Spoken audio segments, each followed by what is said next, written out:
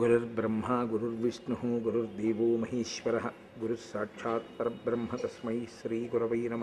నారాయణం నమస్కృత్య నరం చైవ నరోత్తమం దేవీం సరస్వతీం వ్యాసం తతో జయముదీరయేత్.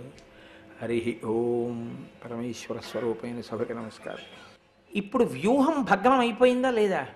భగ్నం అయిపోయింది. వాళ్ళు అనుకున్నట్లు జరగలేదు. వెళ్ళిపోయాడు భీముడు. ద్రౌపది దొరికిపోయింది. ఒకడి నోటి వెంట అకస్మాత్తుగా ఓ మాట వచ్చింది ఉపకీచకుల్లో. ఒరే దీనివల్లే రామన అన్నయ్య చచ్చిపోయాడు. దీని మీద కామంతోటే మన అన్నయ్యని ఐదుగురు భర్తలతో చంపించి ఎంత నిర్భయంగా నించుందో చూడండిరా. అన్నయ్య మాంసపు ముద్దైపోయాడు ఇది నవ్వుతూ నించుంది. మన అన్నయ్య శరీరంతో కోరిక తీర్చుకోలేకపోయాడు. కనీసం దీని శరీరాన్ని అన్నయ్య శరీరాన్ని కలిపి కట్టి తీసుకెళ్ళి కాల్చేద్దాం అన్నాడు. అంటే నేను మీతో ముందే చెప్పా. ఉపకీచకులు ఎటువంటి వాళ్ళు అంటే ఒకడేమంటే మిగిలిన వాళ్ళందరూ అలాగే. అలాగే అలా చేసేద్దాం రా అన్నారు పట్టేసుకున్నారు ద్రౌపదీదేవిని భీముడు లేడు. ఉపకీచకులకి కేక వినపడకపోతే భీముడికి మాత్రం వినపడుతుందా ఇప్పుడు? కాబట్టి భీముడికి వినపడదు. ఇప్పుడు వాళ్ళు ఏం చేశారంటే ఒకడు పరుగు పరుగు పరుగు పరుగు ఈలోగా వేగుల వాళ్ళు వెళ్ళి విరాటరాజు గారికి చెప్పారు. కీచకుడు మరణించాడని. ఆశ్చర్యపోయి సుదేశ్ నేను మీకు ఇంత ఇత పూర్వం నుంచి చెప్తున్నా అంతఃపురంలో కర్ఫ్యూ వాతావరణం లాంటిది ఉంది ఎవరికి వాళ్ళు భయంలో ఉన్నారు అని. కీచకుడు నర్తనశాలలో చచ్చిపోయాడు. ద్రౌపదీదేవి అక్కడే ఉండి ఆవిడే చెప్పింది నా భర్తలే చంపేశాడు ఉనికిపోయాడు విరాట్రాజు సుదేష్ణ దగ్గరికి వెళ్ళి నీ తమ్ముడు చచ్చిపోయాడని చెప్పాడు. ఆవిడ ఏడుస్తోంది. ఈలోగా ఉపకీచకుల్లో కొంతమంది పరిగెత్తుకొచ్చారు. మా అన్నయ్యని చంపేసినటువంటిది అక్కడే ఉంది. దాన్ని కూడా కలిపి అన్నయ్యని తీసుకెళ్ళి దహనం చేసేస్తున్నాం అన్నారు. ఎందుకంటే వాళ్ళకి అవమానం. తెల్లవారు లేస్తే కీచకుడు నర్తనశాలలో ద్రౌపదీదేవి వల్లే ఇంత మాంసపు ముద్ద కింద చచ్చిపోయాడు. మామూలుగా కొట్టలేదు. దిక్కుమాలిన చావు చచ్చిపోయాడని లోకం అంటుందేమో. ఇంత సింహబలుడు ఇంత చావు చచ్చాడని అనుకోకముందే కాల్చేస్తే గొడవ ఉండదు. భీముడు అనుకున్న వ్యూహం కొంత ఫలించింది. కొంత బిడిసికొట్టి ఇప్పుడు ఎవరు రక్షించాలి? భీముడు ఉన్నాడా ఈశ్వరుడు రక్షించాలి. దీనికి ప్రమాదమని పేరు. ఇంత పకడ్బందీ వ్యూహాన్ని రచన చేస్తే వ్యూహం ఎలా తిరిగి వచ్చిందో చూడండి. ఇప్పుడు దానికి ఏమైనా పెద్ద ఊరేగింపు ఉందా శవానికి? లేకపోతే దాన్ని ఏమైనా రాజలాంఛనాలతో తీసుకెళ్ళడం ఏమైనా ఉందా? వాళ్ళు విరాట్రాజు దగ్గరికి పరిగెత్తారు చెప్పారు కాల్చేద్దాం అనుకుంటున్నామని విరాట్రాజు ఏమన్నాడో వినే స్థితిలో వాళ్ళు లేరు ఆవేశంలో ఉన్నారు. ఆయన కూడా ఎలా ఆలోచించాడంటే ఇప్పుడు నేను చెప్పినా వీళ్ళు వినరు. నేనేమైనా చెప్తే వాళ్ళ కోపం వస్తుంది. వాళ్ళ అదృష్టం బాగుంటే ద్రౌపదిని కాల్చేస్తారు వాళ్ళ అదృష్టం బాగుండకపోతే ఎవరు కీచకుండి చంపారో వాళ్ళే వీళ్ళని చంపేస్తారు. ఆయన ఊరుకున్నాడు. ఇప్పుడు ఇంకొక ప్రమాదం ఎక్కడి నుంచి వచ్చింది? రాజు జోక్యం చేసుకోకపోవడంలో వచ్చింది. అంతే. వాళ్ళు వెంటనే ద్రౌపదీదేవిని తీసుకొచ్చి ఈ మాంసపు ముద్ద కేసు కట్టారు. ఎంత భయంకరమైన స్థితి మీరు చూడండి. అటువంటి మాంసపు ముద్దకేసి తాళ్ళతో కడుతుంటే మీరు ఊహించండి మాంసం అంటే అదే ఇనం ముక్కలా ఉండదుగా మెత్తగా ఉంటుంది. ఈవిడ శరీరం అందులోకి జొనపబడుతుందా జనపబడదా? ఆ మెత్తటి మాంసపు ముద్దలోకి ఈవిడ దిగింది. దిగితే ఈవిడ్ని కట్టేశారు. కట్టేసి పాడి మీద పడుకోబెట్టారు. పడుకోబెట్టి తీసుకెళ్ళిపోతున్నారు శ్మశానానికి. చీకట్లో తెల్లవారకట్ట ఎవరికి కనపడకుండా తెల్లవారేటప్పటికి దహనం అయిపోవాలి. తీసుకెళ్ళిపోతుంటే నర్తనశాల దగ్గర నుంచి ఏడిస్తేనే అరిస్తేనే వినపడని విరు పిలుపు శ్మశానానికి వీధిలో తీసుకెళ్ళిపోతుంటే అందున తాను చనిపోయిన కీచకుడి యొక్క శవానికి కలిపి కట్టేయబడ్డాను. నూట ఐదుగురు కీ ఉపకీచకులు ఉద్ధతితో కేకలు వేస్తూ తీసుకెళ్ళిపోతుంటే ఒక అబల కంఠం ఎలా వినపడుతుంది? అంటే వ్యూహం తిరగబడి ఎంత పెద్ద ప్రమాదం వచ్చేసింది చూడండి. కీచకుడు తేలిగ్గా చచ్చిపోయాడు. ఉపకీచకులు ప్రమాదాన్ని తీసుకొచ్చారు.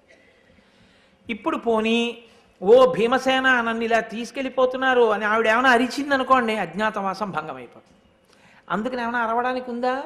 లేదు. కానీ ఇదే ఈశ్వరుడిచ్చేటటువంటి అనుగ్రహం అంటే. వాళ్ళు ఎందుకు పెట్టుకున్నారో తెలియదు అత్యంత ప్రమాదం వస్తే మన ఐదుగురం ఒకళ్ళనొకళ్ళం పిలుచుకోవడానికి మారుపేర్లు పెట్టుకుందామని ధర్మరాజు గారు ఐదుగురికి మారుపేర్లు పెట్టాడు. కంకుభట్టు వలలుడు ఇలాంటివి కాకుండా. ద్రౌపదీదేవికి వాళ్ళు పెట్టలేదు. ఎవ్వరూ పిలవని పిలుపు మన ఐదుగురమే పిలిస్తే ఎవ్వరూ అలా పిలవరు కదా. వీళ్ళు ఐదుగురే అలా ఎందుకు పిలుస్తారు అని అనుమానం వస్తుంది ఆడదాని మీద. అందుకని ద్రౌపదికి మారు పేరొద్దు మన ఐదుగురికి మారు పేర్లు ఉంటాయి ఈ పేరుతో పిలిస్తే మనం ఒకళ్ళకొకళ్ళం పలకాలి అని నిర్ణయం చేశాడు. అది ద్రౌపదికి తెలుసు. ఇప్పుడు ఆ పేర్లు అన్వయం అయ్యేటట్టుగా ఆవిడ పీనుక్కి కట్టి ఆవిడ్ని తీసుకెళ్ళిపోతున్నప్పుడు ఆవిడ పెద్ద పెద్ద కేకలేస్తుంది. అనతవైర్యో జయ మహద్భుత విక్రమవో జయంత దుర్మాన విఘార్ణ మాన రిపుమర్దనయో విజయాభిధాన తేజో నిహతాహిత ప్రకట శూర గుణ ప్రతిభాసయో జయత్సేన విరోధి బాహుబల జృంభణ భంజనయో జయద్బలా అని అరిచింది ఆవిడ. ఒక్కొక్కళ్ళ పరాక్రమాన్ని చెప్తూ జయ అంది ముందు. జయ అంటే ధర్మరాజు గారికి ఉన్నటువంటి సంకేతనామం. జయంత భీముడిది. జయాభిధాన విజయుడు. విజయాభిధాన అంటే విజయుడు. విజయుడు అర్జునుడికున్న పేరు. ఆయనకి బిరుదునామం కూడా విజయుడే. జయత్సేన నకులుడి పేరు. జయద్బల సహదేవుడికి పేరు. ఈ ఐదుగురికి విరాట్ రాజు కొరువులో కంకుభట్టు వలరుడు అలాంటి పేర్లు పెట్టుకున్నారు వాళ్ళు. మారు పేర్లు. అవి కాక వాళ్ళకి మాత్రమే తెలిసే సంకేతం ఈ ఐదు పేర్లు. ఈ ఐదు పేర్లతో అరిచింది. అదృష్టం ఎక్కడొచ్చిందంటే ఇంకా శ్మశానం అల్లంత దూరంలో ఉందనగా ఈ కేక ఇంకా నిద్ర పట్టకుండా ద్రౌపది వెళ్ళిపోయి ఉంటుందా అన్న అనుమానంతో ఇంకా పూర్తిగా నిద్రపోని భీముడి యొక్క చెవుల పడింది.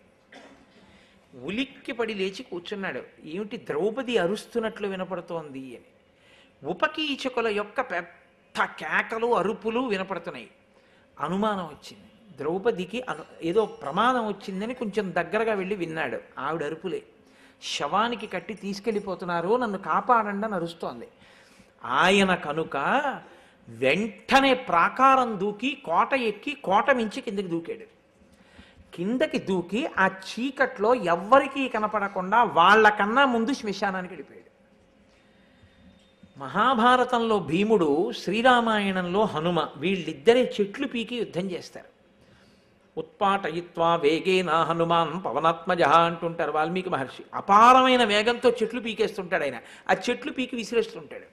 అలా ఆ కటిక చీకట్లో శ్మశానంలో ఒక పెద్ద చెట్టుని పీకి ఎత్తి పట్టుకుని నించున్నాడు.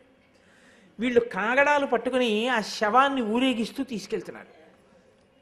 వాళ్ళకి కాగడాల వెలుతురులో దూరంగా పెద్ద చెట్టు పట్టుకుని లీలగా ఓ ఆకారం కనపడింది.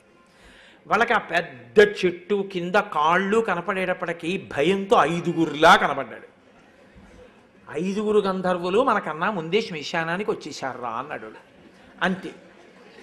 నేను మీకు ముందే మనవి చేశాను. వాళ్ళు ఎటువంటి వాళ్ళు? అంటే అతి పిరికి నూతిలో కురికి చాలామంది.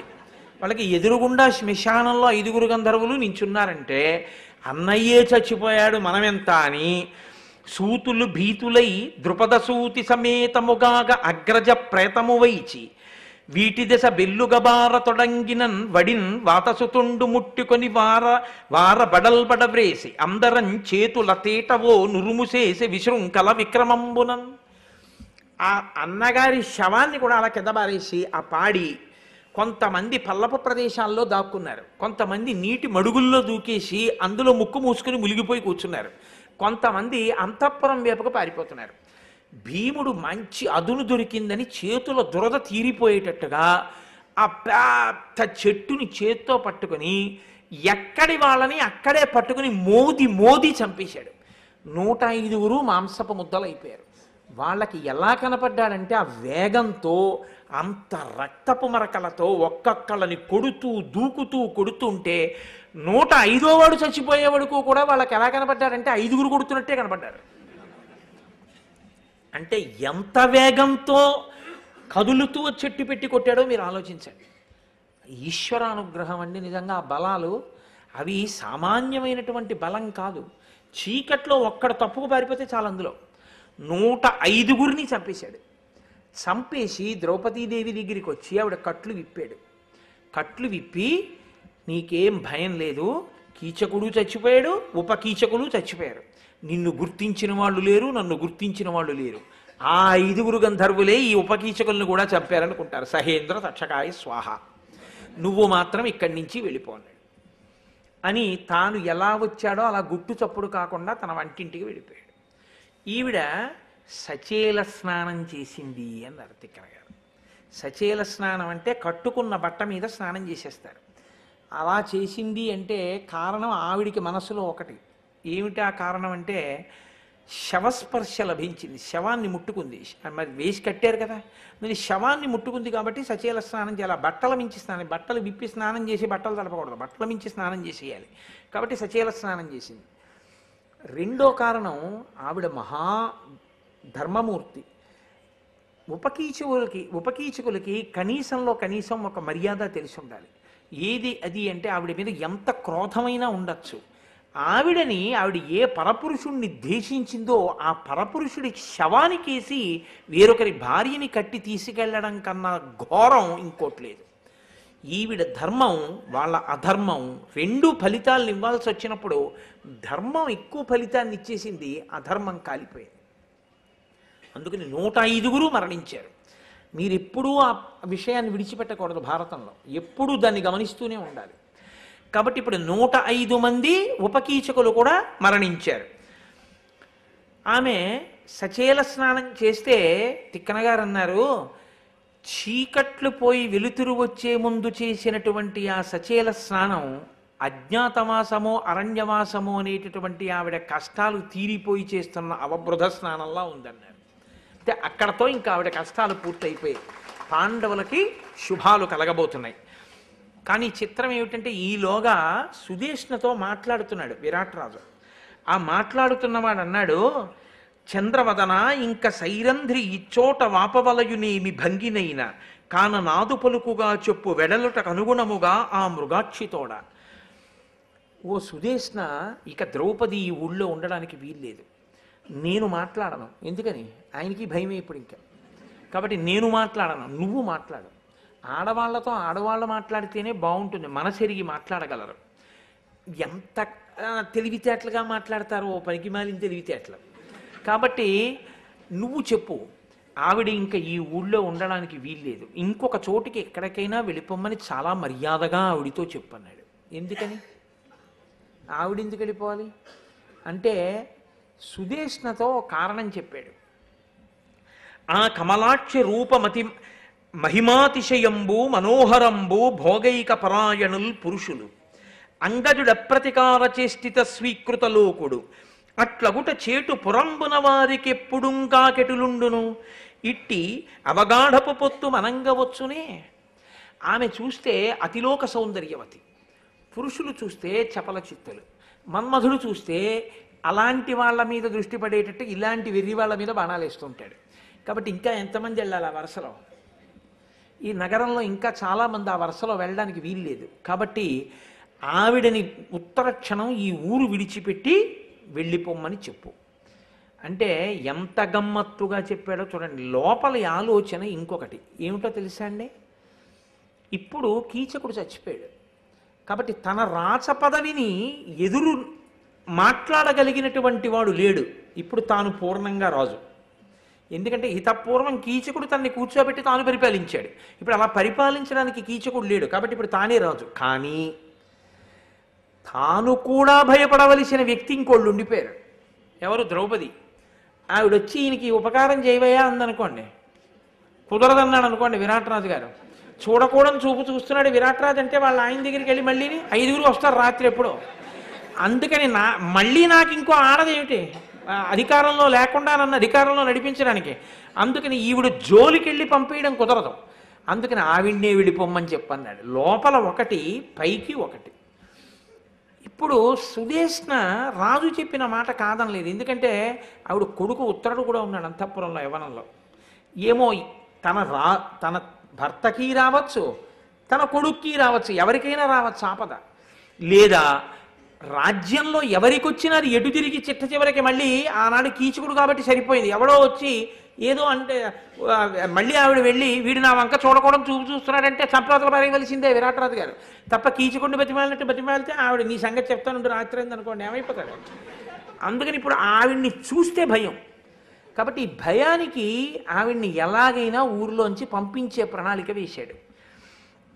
ఇక ఆవిడ రాచవీధిలో నడిచి వెళ్ళిపోతోంది.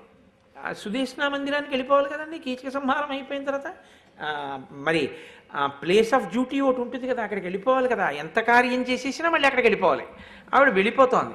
వెళ్ళిపోతుంటే ఆ వీధుల్లో ఉన్న వాళ్ళు మాట్లాడుకుంటున్నారు ఆవిడ్ని చూపించి. మన కీచకులకెల్లా మారియై పుట్టిన సుదతి పోయెడునని చూచువారు. మన కీచకులు నూటారు మందికి కూడా మారకమనేటటువంటి రూపంలో వచ్చినటువంటి స్త్రీ ఈమె చూడండి చూడండి అని చెప్పుకుంటున్నారట. అద్దిరా నీకు క్రొవ్వు నీకు క్రొవ్వరుగదే జాతుగా గని అడుగు అడుగువారు. నీ కొవ్వు ఒంట్లో కొవ్వు ఎక్కువగా ఉంటే ఒరే ఓసారి ఆవిడ్ని చూడరా? అంటున్నట్టు ఓడు. అలవోక కనుగొని అంతరంగంబు బిట్టు బెదర మారుమొగంబు పెట్టువారు. ఇలా వెళ్ళిపోతూ వెళ్ళిపోతూ ఆవిడని ఇలా చూసి ఆవిడ కూడా చూడడం ఇలా చూసేటప్పటికీ అసలు తను పొరపాటున చూసినట్టు ఇలా మొహం తిప్పుకుని వెళ్ళిపోతున్నారట కొంతమంది. ఎదురుగా వచ్చిన ఎంత ఏని యుదవ్వుగలుగా వేరొక త్రోవ తొలగువారు. వాడికి ఇలా వెళ్ళి అక్కడికి వెళ్ళాలి వాడు. ఆవిడ అట్నుంచి వస్తోంది. వీడు ఇలా వెళ్ళిపోతున్నాడు. తప్ప ఆవిడికి ఎదురుగుండా పెడితే ఏ అలా చూస్తూ వస్తున్నావు? అంటుందేమో ఐదుగురికి చెప్పనా? అంటుందేమో అని భయం. అందుకని ఎవడు ఎదురుగుండా కూడా వెళ్ళటం లేదు. ముట్టబడి మేన కంపంబు పుట్ట ఒదిగి ఉండువారు. అలా వెళ్ళిపోతున్నాడు. చూసుకోలేదు. గబుక్కుని తగిలింది ద్రౌపది. అంతే. గజ గజ గజ గజ గజ గజ వణికిపోయి ఫిట్స్ వచ్చిన వాడు పడిపోయినట్టు పడిపోతున్నారు. గరంబున ఉదరమప్ప ఉదరమప్పళించి అమరో రక్కసియంచు ఉల్ల ములుకువారునై పురజనంబులు తలంకి. కడుపు మీద బాదుకుంటూ అమ్మ బాబోయ్ ఆవిడ వస్తోందిరోయ్ అటు వెళ్ళకండి రోయ్ నరుపులు నరుచుకుంటూ పారిపోతున్నారు. నిన్నటి వరకు న్యాయం చెప్పిన వాడు లేడు. ఇవాళ ఆవిడికి ఎదురు వెళ్ళిన వాడు లేడు. లోకం అంటే అలా ఉంటుంది. ఎంత విచిత్రంగా ఉంటుందో చూడండి. లోకం యొక్క పోకడ అంటే అంత ఆశ్చర్యకరంగా ఉంటుంది. ఇటువంటి స్థితిలో ద్రౌపదీదేవి చాలా సంతోషించింది. అమ్మయ్య ఇహ మన వంక వచ్చేవాడు కానీ మన జోలికి వచ్చేవాడు కానీ లేడు. అని చాలా సంతోషంతో ఉంది. సుదేష్ణ ఏడుస్తోంది. అదే సమయంలో ద్రౌపదీదేవి లోపలికెడుతోంది తిక్కన గారు అంటారు అసలు ఇంకా ద్రౌపదీదేవి ఎంత ఆనందంలో ఉందంటేట సుదేష్ణ ఏడుస్తుంటే చిన్నపిల్లల గంతులు వేసినట్టు కాసేపు చప్పట్లు కొడుతూ ఎగిరి గంతులు వేయాలని ఉందిట ఆవిడికి. పంపించిందిగా మధ్యలో పాత్రనిచ్చి అందుకని. కానీ బాగుండదని ఊరుకుందిట పెద్ద నవ్వు నవ్వేయాలని ఉందిట కానీ బాగుండదని ముఖం అలా పెట్టుకుందిట అయిందా? ఏ? నే చూస్తానని ప్రగల్భాలు పలికావుగా అని అడగాలని ఉందిట బాగుండదని ఊరుకుందిట. ఊరుకుని లోపలికి వెళ్ళింది ఈవిడ్ని చూడగానే ఉలిక్కి పడినట్టయి సుదేశ్న పిలిచింది.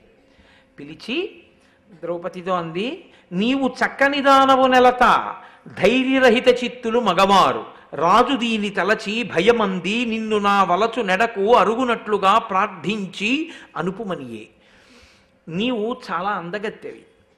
ధైర్యం లేనటువంటి వాళ్ళు మనస్సును నిగ్రహించుకోలేనటువంటి వాళ్ళు పురుషులు.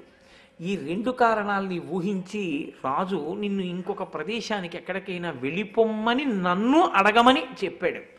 అందుకని నువ్వు ఎక్కడికైనా వెళ్ళిపోతే బాగుంటుంది.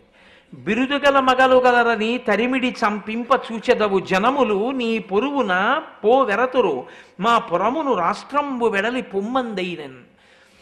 నీకు ఐదుగురు గంధర్వులు భర్తలు ఉన్నారని తరివి తరివి చంపించేస్తున్నావు మనుషుల్ని. కాబట్టి మా ఊళ్ళో వాళ్ళందరూ భయపడిపోతున్నారు. అందుకని అమ్మా నువ్వు మా రాష్ట్రం మా ఊరు విడిచిపెట్టి ఎక్కడికైనా వెళ్ళిపోమ్మా అంది. ఏమైనా తప్పు ఉందండి? ద్రౌపదీదేవి ద్రౌపదీదేవిని ఆ ఊళ్ళోంచి వెళ్ళిపోమ్మని చెప్పడానికి ఏదైనా హేతు ఉందా సరైంది? అంటే ఎంత స్వార్థంతో ఎంత చమత్కారంగా జరిగినది ఒకటైతే ఆమె పాతివ్రత్యాన్ని ఆమె రక్షించుకున్నందుకు అభినందించలేకపోగా ఎంత చమత్కారంగా మాట్లాడతారో చూడండి. అంటే ద్రౌపదీదేవి అంది ముందటి ఎట్ల ఇంక పదమూడు దినంబుల మాత్రకున్ భవన్ మందిరమాసమియ్యం భవన్ మందిరమాసమియ్యకుడినం కడతీరు మదీయ వాంఛ అంతం తగదూచి మత్పతులుదాత్తమతిన్ భవదీయ వాంఛితంబున్ తలగొల్ప జూలు చూసెదరు. అపూర్వమన ప్రమదంబు నెరకున్. అమ్మ ఇంకొక పదమూడు రోజులు. ఏడాది పాటు దగ్గర దగ్గరగా నువ్వు నాకు ఆశ్రయం ఇచ్చావు పదమూడే రోజులు ఉంటాను పదమూడు రోజుల తర్వాత వెళ్ళిపోతాను. పదమూడు రోజుల తర్వాత నేను వెళ్ళిపోయే ముందు నా పతులు తమ నిజస్వరూపాలతో నీకు కనపడతారు. నా పతులు నీకు నిజస్వరూపాలతో కనిపించినప్పుడు ఒకటి గుర్తుపెట్టుకో. నాకు ఎవరు ఆశ్రయం ఇచ్చారో నన్ను ఎవరు బాగా చూశారో వాళ్ళకి గొప్ప శుభం చేసి పెడతారు. తప్ప వాళ్ళు మామూలుగా వెళ్ళరు. వాళ్ళ నిజస్వరూపాలని చూద్దువు గానివి గొప్ప శుభాన్ని పొందుదువు గానివి ఒక్క పదమూడు రోజులు నీ అంతఃపురంలో నన్ను ఉండనియంది అంటే సుదేష్ణ అంది అనిన సుదేష్ణ ఇట్లనియే అంతమునంతకు మ అంతవునంతకు మగృహంబునందునికి సమ్మతించితి. నిజోచిత వృత్తి చెరింపు. నాదు నందనుల మదీయ వల్లభో నుదోత్తమతిన్ పరికించి కొమ్ము. నీ మనమునకెట్టు లూరట సమస్తము అట్టుల చేసేదంతగన్. పదమూడు రోజులే అంటున్నావు కాబట్టి అంతఃపురంలో ఉండు. నీకు ఏం కావాలో నాకు చెప్పు నేను అమరేటట్టు చూస్తాను. నీకు కావలసినవన్నీ వచ్చేస్తాయి. కానీ నాదొక్కటే ప్రార్థన. మా ఆయన్ని మా అబ్బాయిని మాత్రం జాగ్రత్తగా చూసుకోవాలి సుమా. ఇది ఔచిత్యం. గొప్ప మాట. ద్రౌపదీదేవి ఇప్పుడు మాట ఇస్తుంది ఏమని? అలాగే అంటుంది. ఈ అనడం ఎక్కడ పనికొచ్చిందో తెలుసా అండి? ఉత్తర కుమారుడి యొక్క ప్రాణాలు రక్షించడానికి బృహన్నలని సారథిగా చేసి పంపించింది ద్రౌపదీదేవి. ఉత్తరుడొకడే వెళ్ళుంటే పీనుగు తిరిగి వచ్చును కాబట్టి నీ కొడుకుని రక్షిస్తానని మాట ఇచ్చింది కాబట్టి ఉత్తర గోగ్రహణంలో ఉత్తరుని రక్షించింది బృహల్ని సా- బృహన్నల్ని సారథిగా పంపి. నీ భర్తని రక్షిస్తానని మాట ఇచ్చింది కాబట్టి విరాట్రాజు పాచికలతో కొట్టిన విషయం ధర్మ అర్జునుడు చూస్తే విరాట్రాజును చంపేస్తాడు. చూడకుండా గబగబా తన పమిటితో నెత్తురొత్తి విరాట్రాజు గారి ప్రాణాలు కాపాడింది. నీ భర్తని నీ కొడుకుని కాపాడతానని ఒక్క మాట అన్నందుకు విరాటపర్వం తర్వాత పదమూడు రోజుల కథలో ఇద్దరూ మరణించవలసిన చోట ద్రౌపదీదేవియే ఇద్దరిని రక్షించింది. అంటే ఎందుకు పలికించాడో ఈశ్వరుడు సుదేష్ణ నోటి వెంట ఆ మాట రప్పించాడు. నా భర్తని నా కొడుకుని నువ్వే కాపాడాలి అన్నాడు. అందావిడ తప్పకుండానమ్మా అంది ద్రౌపది. అంది కాబట్టి కాపాడేసింది అంతే ఆ మాట అని అడిగి ఉండి ఉండకపోతే ఏమో కథ ఎలా ఉండి ఉండేదో. అందుకే మీరు బాగా జ్ఞాపకం పెట్టుకోండి. మాటల చేత దేవతలు మన్నన చేసి వరంబులిత్తురు మీ మాట మీకు రక్షణ. మీరు పెద్దలకి దగ్గిరవడం మాటల చేతనే. ఈశ్వరుడికి దగ్గిరవడం మాటల చేతనే. మీరు ఎంత దగ్గరయ్యారో పెద్దలకి అంత దూరం మీరు విసిరివేయబడడం మీకు ఈ పెద్దలతో సంబంధాలు తెగిపోవడానికి కారణం కూడా మీ మాటలే. మాటల వలననే అభ్యున్నతిని పొందుతారు. మాటల వలననే సర్వనాశనాన్ని పొందుతారు. మాట ఈశ్వరుడిచ్చిన వరం దాన్ని ఎలా పడితే అలా వాడకూడదు. చాలా జాగ్రత్తగా వాడాలి. ఆ నిష్ట ఉంటే కనీసంలో కనీసం ఆ భక్తి ఉంటే ఏడాది పాటు పదమూడు రోజులు తక్కువగా ద్రౌపదీదేవిని తన దగ్గర పెట్టుకుని కాపాడినటువంటి పుణ్యం ఏదుందో ఆ పుణ్యమే అనుకోకుండా తన ఐదోతనాన్ని తన యొక్క కొడుకుని రక్షించుకోవడానికి వీలైన మాట సుదేష్ణ నోటి వెంట ఈశ్వరుడు పలికించాడు. అలాగేనమ్మా అంది ద్రౌపదీదేవి. అంతే కాపాడబడ్డారా లేదా? కాపాడబడ్డారు. కనుక నోటి మాట అన్నది ఎంత ముఖ్యమైనదో మీకు అర్థమవుతుంది. ఈ ఘట్టంతో ఈ పదమూడు రోజులే మిగిలినది అన్న మాటతోటి ఇంచుమించుగా అజ్ఞాతవాసం పూర్తయిపోయినట్టు. కదండి? ఇంకేముంది? ఇంకేం కష్టం వచ్చే అవకాశం లేదు. కానీ కాలమునందు ప్రతి నిమిషము ప్రతి క్షణము కూడా పూర్తయ్యే వరకు పరీక్ష వస్తూనే ఉంటుంది. దానికి నిలబడడం దానికి తట్టుకోవడం తట్టుకుని వన్నెకెక్కడం కీర్తి తెచ్చుకోవడం సామాన్యమైన విషయం కాదు. పదమూడు రోజుల కాలంలో రెండు గోగ్రహణములు జరిగాయి. ఒకటి దక్షిణ గోగ్రహణం ఒకటి ఉత్తర గోగ్రహణం. దక్షిణ గోగ్రహణం విరాట్రాజు గారి ప్రాణాలు పట్టుకుపోవడానికి కారణమైంది. ఉత్తర గోగ్రహణం ఉత్తర కుమారుడి ప్రాణాలు పోవడానికి కారణం. న్యాయంగా చెప్పాలంటే ఇద్దరూ వెళ్ళిపోతారు. దక్షిణ గోగ్రహణం ఉత్తర గోగ్రహణంలో. ఇద్దరూ బతకడానికి కారణం పాండవులు అక్కడ ఉండడమే. పాండవులు అక్కడ ఉండడం వల్లనే బతికారు. కాదు అసలు దక్షిణ గోగ్రహణం ఉత్తర గోగ్రహణం పాండవులు ఉండడం వల్లే జరిగాయి. పాండవులు ఉండకపోతే దక్షిణ గోగ్రహణం ఉత్తర గోగ్రహణం జరుగుతుందని మీరు అనుకోవడానికి వీల్లేదు. ఇది ఎంత చమత్కారంగా జరిగిందో ఇప్పటి వరకు మీరు చూసినటువంటి వ్యక్తులు ఒక ఎత్తు. అద్భుతం. ఇప్పటి వరకు ధర్మమూర్తులైన పాండవులు నడిచారు. ఇక పైన మీరు వినేటటువంటి పేర్లు ఏ పేర్లు విన్నంత మాత్రం చేత పాపరాశి ధ్వంసం అయిపోతుందో ఏ మహానుభావుల నోటి మాటలు వింటే వాళ్ళ యొక్క ఉదాత్తత బయటికి వస్తుందో అటువంటి మహాపురుషులైనటువంటి భీష్ముడు ద్రోణుడు మొదలైన వాళ్ళు మాట్లాడడం ప్రారంభమవుతుంది. అత్యద్భుతమైనటువంటి ఘట్టం దక్షిణ గోగ్రహణం ఉత్తర గోగ్రహణం. ఈ రెండు దాటితే ఉత్తరాభిమంజల వివాహం. ఉత్తరాభిమంజల వివాహం చెప్పేస్తే విరాట పర్వం పూర్తయిపోయినట్టు.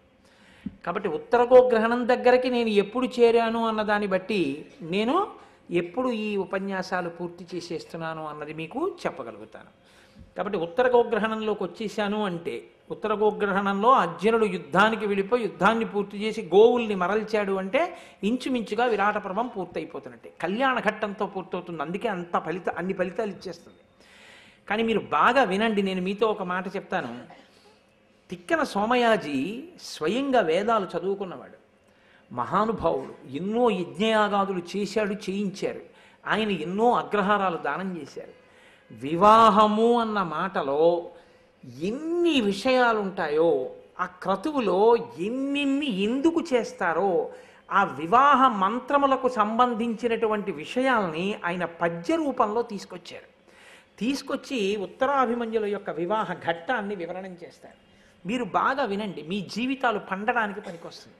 వివాహంలో తెర మధ్యలో పడితే ఎందుకు పడతారు? ఎవరు పట్టుకోవాలి తెర? తెర ఎవరు పడితే వాళ్ళు పట్టుకోవచ్చా? తెర ఎవరు పట్టుకోవాలో ఎవరు నిర్ణయం చెయ్యాలి? ఎంతమంది పట్టుకోవాలి తెరని? దీనితో సహా తిక్కన గారు మాట్లాడతారు. చాలా అద్భుతమైన ఘట్టాలు. కాబట్టి ఇవాళ చాలా సంతోషించినటువంటి ఆ ద్రౌపదీదేవి తిరిగి వెళ్ళిపోతోంది. వెళ్ళిపోతున్నప్పుడు అక్కడే భీమసేనుడు వంటలశాల దగ్గర కనపడితే ఆ తల్లి ఎంతో సంతోషిస్తూ తనలో తాను గొణుక్కున్నట్టుగా ఒక మాట చెప్పింది. కీచకుల దశ పుట్టిన కిల్బిషంబు పాచి నన్ను రక్షించిన పరమ ధర్మరతికి గంధర్వపతికి నిరంతరంబు భక్తియుక్తిమై ప్రణమిల్లి బ్రతుకుదానా అంది. కీచకుడి వలన నాకు ఇంత భయంకరమైన కష్టం వస్తే నా భర్తలైన ఐదుగురు గంధర్వులలో ఎవడు కీచకుడిని మట్టు పెట్టి నా మానము రక్షింపబడడానికి హేతువయ్యాడో ఆయనకి బ్రతికున్నంత కాలం నమస్కారం చేస్తూ నా పాతివృత్యాన్ని నిలబెట్టుకుని బ్రతుకుతాను అంది. ఇది గుణుగుతున్నట్టుగా అంటూ వెళ్ళిపోయింది భీముడి పక్క నుంచి చిరునవ్వు నవ్వుతూ. సంతోషం కానీ వ్యక్తం చేయడానికి అవకాశం లేదు. భీముడు అన్నాడు ఏమీ తెలియనట్టు ఎవరి భార్యని ఆ భర్త రక్షించుకోవడం పెద్ద గొప్ప. దానికి నువ్వంత మాట అనాలా? సైరంధ్రి అన్నాడు. అంటే నీవు నా భార్యవు కనుక రక్షించాను. దానికి అన్ని కితాబులు అవసరమా? అన్నట్టుగా వలలుడిగా తాను కానట్టు. ఎవరో గంధర్వుల గురించి ఆవిడంటే అది పెద్ద విషయమా? అని గంధర్వుల గురించి ఆయన అన్నట్టు. భీమసేనుడు అన్నాడు. కాబట్టి ఇరువురు చాలా సంతోషంతో ఉన్నారన్న ఘట్టం దగ్గర ఇవాళ రోజు ఉపన్యాసాన్ని పూర్తి చేసేస్తున్నాను.